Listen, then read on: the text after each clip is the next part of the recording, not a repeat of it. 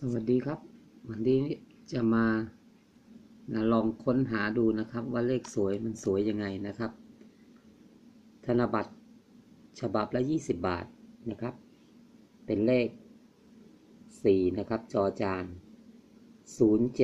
076 แล้วก็มี 9 ขั้นนะครับ 670 เห็นไหมครับ 076 เลข 9 อยู่ตรงกลางขั้นนะ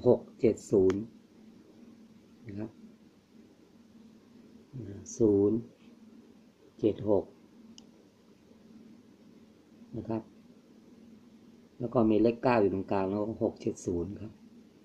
เห็นไหมครับนี่คือเลขสวยบางที แล้วก็ศูนย์ล้อมอยู่ข้างนอกเจ็ดเข้ามาอยู่ข้างในอย่างนี้ครับนะฮะศูนย์อยู่ข้างนอก แล้วก็เจ็ดเข้ามาอยู่ข้างในถัดมานะครับ แล้วก็หกแล้วก็เก้าอยู่ตรงกลางบางคนยังมองไม่ออกนะครับ นะฮะเห็นไหมครับ เลขศูนย์อยู่กรอบนอกครับ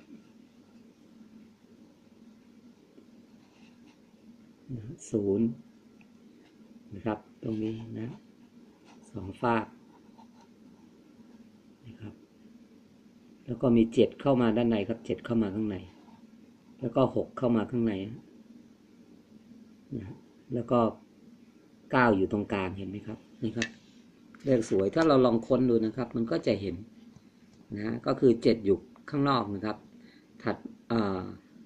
นะเลขศูนย์นะครับศูนย์เจ็ดหกนะเก้าอยู่ตรงกลางแล้วก็หกเจ็ดศูนย์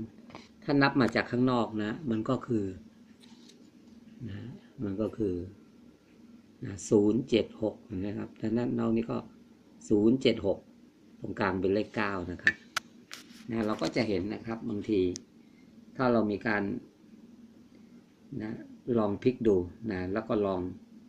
นะนะลองนะสลับตัวเลขกลับไปมานะครับ ข้างล่างนะครับ เห็นไหม 4G 076 นั่นแล้วก็ 076 ย้อนกลับตรงกลางเป็นเลข 9 นะครับ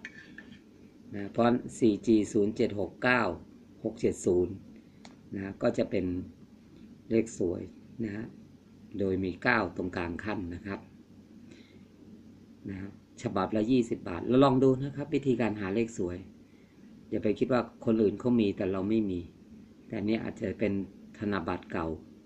นะที่หลงเข้ามาแล้วเราก็ลองมาหาตัวเลขดูนะครับ ก็สามารถเก็บสะสมไม่ได้นะครับนะบางเรื่องเป็นเรื่องที่คนอื่นก็อาจจะคิดไม่ถึงครับ ขอบคุณมากครับที่ติดตามรับชมครับ สวัสดีครับ